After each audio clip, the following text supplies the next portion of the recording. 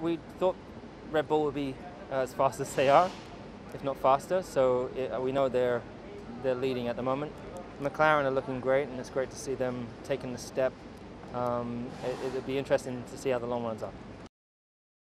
If we are behind, then we just need to catch up and do a good job. If we are just about on the same pace, um, which I would consider today maybe as the best possible scenario for us, then uh, we, we're, we're up for the fight with, a, with, a, with another great team.